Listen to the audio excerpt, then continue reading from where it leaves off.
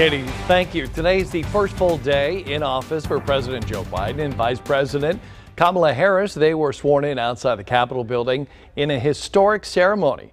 Biden called for unity in his inaugural address and had this message to the 74 million Americans who voted for his predecessor, Donald Trump. Hear me out as we move forward. Take a measure of me and my heart.